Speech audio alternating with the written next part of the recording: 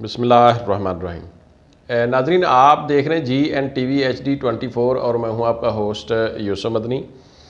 आज मैं वाक़ जो है वो सीमा हैदर या सीमा ग़ुलाम हैदर के नाम से, जो कि आजकल सीमा सचन बन चुकी है, इंडिया जा चुकी है, उस हवाले से बात करूँगा।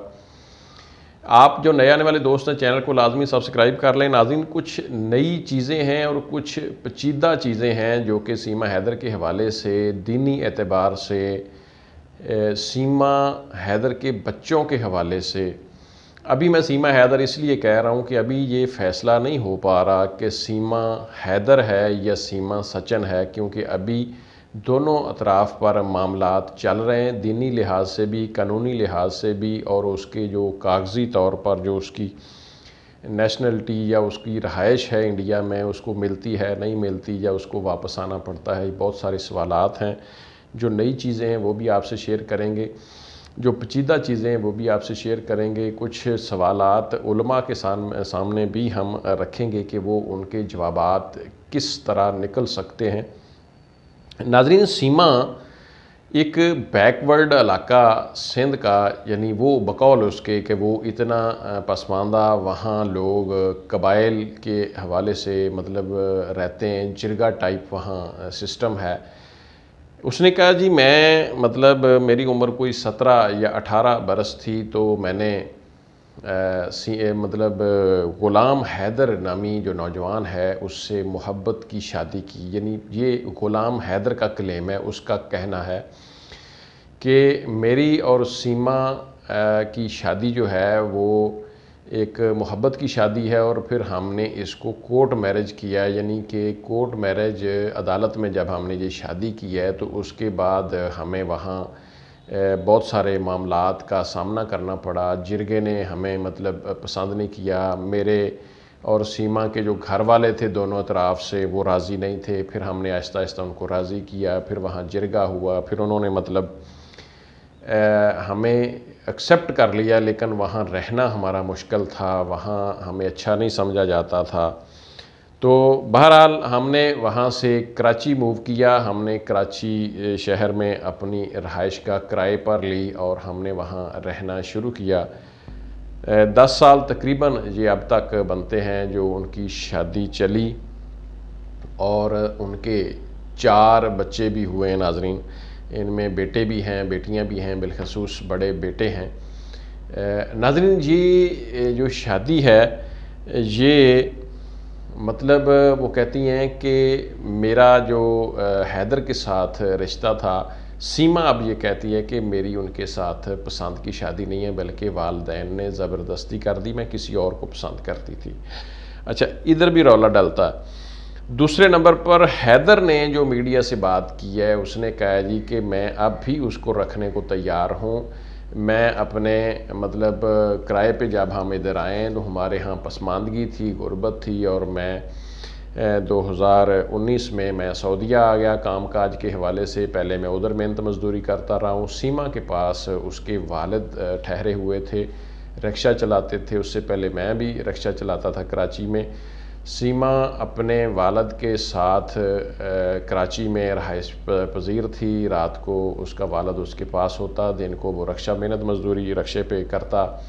तो इस तरह करके उसको ये था कि मेरे बीवी बच्चे जो हैं, वो महफूज हैं, उनके वालद, बच्चों के नाना उनके पास हैं। लेकिन ये पबजी गेम खेलते खेलते इसकी सचिन, जो इंडियन है, उससे दोस्ती होती है और दोस्ती आगे बढ़ती है। सीमा जो है, वो भारी भरकम पैसा खर्च करके इंडिया का वीज़ा लगवाना चाहती है, नहीं लगता। फिर ये नेपाल का वीज़ा लगवाती है और वहाँ जाकर वो कहती जी, सात दिन मैं नेपाल में होटल में ठहरी हूँ। मैंने इससे शादी भी की है, इसके साथ मैंने सात दिन गुजारे हैं। मैं वापस नहीं जाना चाहती थी। मैं वहाँ अपनी जो कोई अजीज़ा थी, बहन थी या कोई भावज थी मतलब उनको या मतलब दरानी जेठानी उनको बोल के आई कि मैं लाहौर जा रही हूँ, दो दिन जाने में लगेंगे, दो आने में लगेंगे, तीन दिन, चार दिन मेरा उधर स्टे होगा। तो बहरहाल, चार घंटे का मेरा सफ़र था, मैं नेपाल पहुँच गई, मैं सात दिन इसके साथ रही, फिर वापस आई, लेकिन मेरा आने को दिल नहीं करता था, लेकिन सचिन ने कहा, नहीं, हमारे बच्चे हैं। यानी उसने कहा जी कि हमारे बच्चे हैं, यानी कि अंदाज़ा करें। तो मैं बच्चों के हवाले से वापस आई, फिर मैं बच्चों को भी, उनके भी पासपोर्ट बनवाए और मैंने डबल डबल पैसा खर्च करके ये काम किया। अब यहाँ हैदर, ये कहता है, ग़ुलाम हैदर, कि इसने मेरा जो मकाम था, जो मैंने इसको दो तीन साल पहले पैसे भेजे थे, इसने तेरह लाख में लिया था तकरीबन। इसने कोई बीस लाख के राउंड बोर्ड उस मकान को बेचा, फिर इसके पास कोई सोना भी था और फिर उसने कहा, जी, मैंने इससे पहले, यानी इसी साल में तकरीबन कोई तीन एक लाख रुपया भी इसको भेजा और इससे पहले मैं इसको तकरीबन कोई अस्सी, सत्तर, अस्सी, नब्बे हज़ार रुपया महाना ख़र्च के तौर पर भी बेचता रहा हूँ। मैं अपने बच्चों से भी प्यार करता हूँ। मुझे इसने कोई शक नहीं होने दिया पबजी के ऊपर। इसलिए इसने जो भी गेम खेली, जिस तरह भी मुरासम सचन से बनाए, इसका अपना ये तरीका रहा।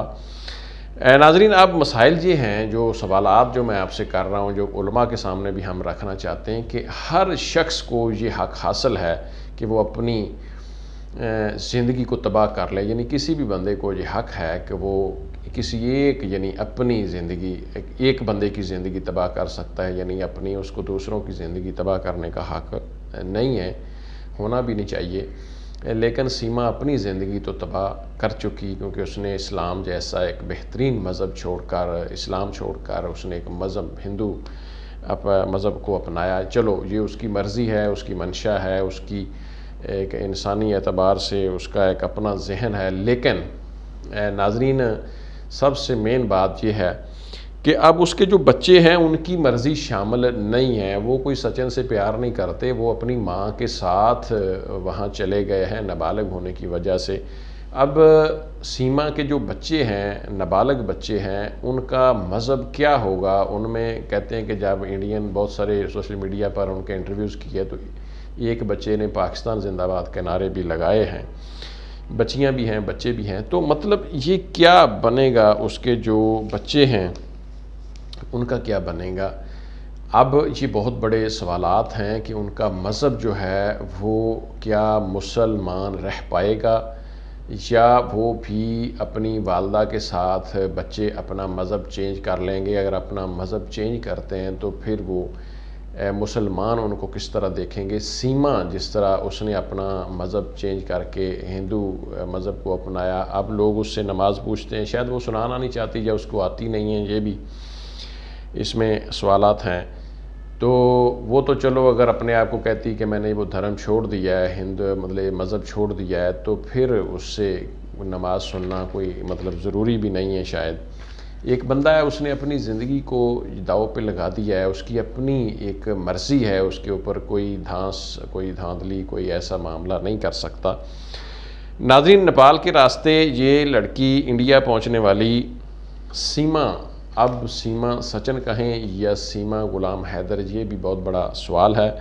हम उलमा के सामने ये बात रखेंगे कि लाजमी तौर पर इस हवाले से, इंसानी हवाले से, क्योंकि चार लोग बिलखसूस जो सीमा के बच्चे हैं, उनके हवाले से उनकी ज़िंदगी का सवाल है कि वो मुसलमान होंगे या गैर मुस्लिम हिंदू होंगे। और सीमा के हवाले से जो चलो मामला है, वो तो बालिग भी है, वो अपने अच्छे बुरे का खुद कर सकती है। उसने कहा, जी, बाईस में मेरे वालद साहब जो है, वो कराची में फ़ौत हो गए थे। उसके बाद उसको मज़ीद आज़ादी मिल गई थी, शौहर उसका जो है उन्नीस में सऊदिया गया था।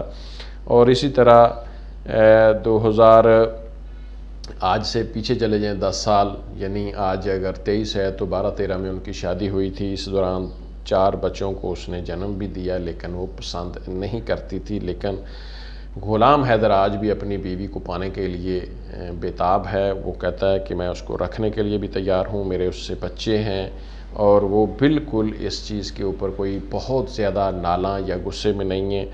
और अब वहाँ इंडिया में सीमा की गिरफ़्तारी भी हुई, अब वो बेल पर भी हैं और इससे आगे क्या बनता है वो बड़ी मुतमिन है कि मुझे इंडिया वाले एक्सेप्ट कर लेंगे। सचिन ने तो एक्सेप्ट किया हुआ है, लेकिन जासूसी के इल्ज़ाम भी लग रहे हैं, लेकिन वो दोनों मियाँ बीवी जासूसी के इल्ज़ाम की तरदीद कर रहे हैं। और नाजरीन, सबसे मेन बात जो मैं करना चाहता था कि उनके ये जो जो बच्चे हैं, उनके मज़हब के हवाले से इंतहाई ज़्यादा परेशानी है कि वो इस्लाम को छोड़कर अपनी माँ के पीछे हिंदू ना हो जाएँ। ये बहुत बड़े सवाल हैं। इस पर ज़रूर रद्दमल दें। बात करें। इजाज़त दें। अल्लाह हाफिज़।